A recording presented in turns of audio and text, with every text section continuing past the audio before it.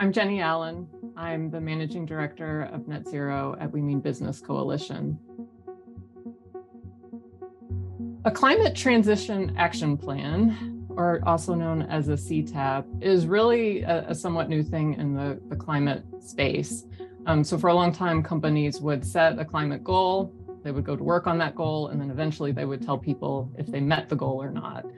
But now, as the stakes seem higher, right, and we see climate events happening on a regular basis, stakeholders like customers and investors really want to know that companies are taking the steps they need to to actually meet the goals way before they get to the end of that goal.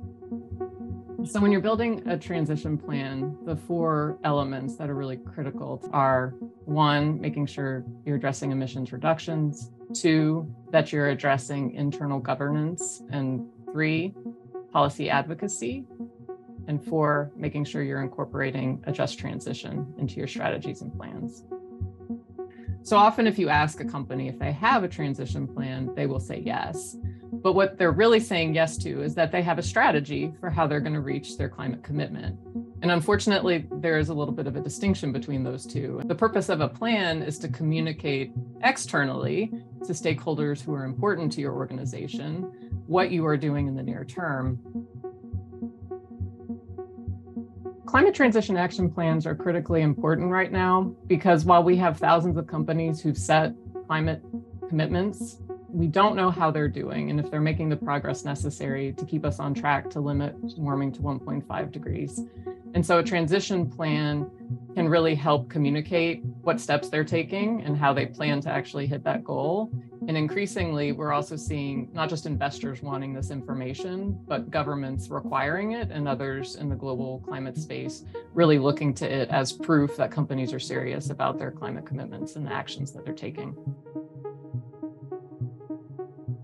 The strongest business case right now for companies to do transition plans is really their investor relations. One of the realities, which often gets glossed over, is just the lag time sometimes between the actions a company takes and the emissions reductions that they will deliver.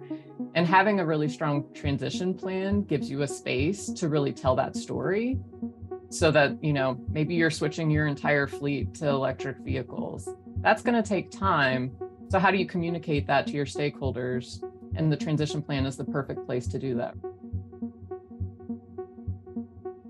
Make sure it's public facing and that folks can find it. Two, it really should be focused on the near term actions you're going to take. And then three, make sure after a year has passed, you go back and you look at that plan and you assess how you did publicly companies often aren't necessarily saying what their near term actions are. And so it becomes more of a backward looking, here's all the things we've done, when really a transition plan is ideally forward looking and telling stakeholders the things you haven't done yet but are about to do.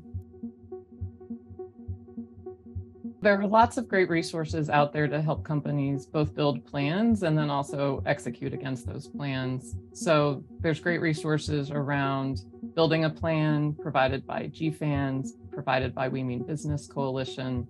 CDP also has some great stuff out there. In addition to that, companies need help actually implementing against those plans, there are many resources, including EDF is developing a net zero action accelerator at We Mean Business, we have the Four A's of Climate Leadership, where we signpost to the leading initiatives and guidance documents that are out there to help companies. And we also have something called the SME Climate Hub, where we help small and medium sized businesses on their climate journey, all the way from making a commitment to doing the reporting at the back end.